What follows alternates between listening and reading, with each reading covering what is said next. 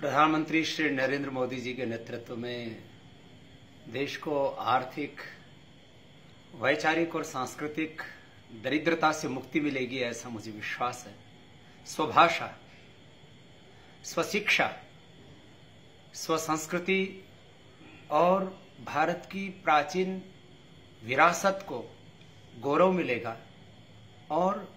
जो अपेक्षाएँ हैं करोड़ों लोगों की, आदरणीय मोदी जी और आदरणीय अमित जी जो पहली बार केंद्र सरकार में एक बहुत बड़ा उत्तरदायित्व का निर्वहन करने वाले हैं, उनमें अप्रतिम सामर्थ्य है और अर्थशास्त्र से लेकर के, राजनीति से लेकर के, पूरे भारत को वो जानते हैं, समझते हैं और तमाम वरिष्ठ मंत्री जो गडकरी साहब हैं या पीयूष गोयल जी से लेकर के जिनके ऊपर बहुत बड़ा उत्तरदायित्व आने वाला है, ये सभी करोड़ों लोगों के भरोसे पर खड़े उतरेंगे और पाँच सालों में वो काम करके दिखाएँगे। मुझे लगता है आने वाले दस पंद्रह वर्षों के लिए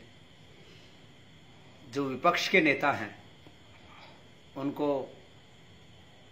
काफ़ी कपाल भाती, अनुलोम विलोम और गीता पाठ करना पड़ेगा, तभी जाकर के अपना वो स्ट्रेस कंट्रोल कर पाएँगे लेकिन ये भारत के लिए शुभ है।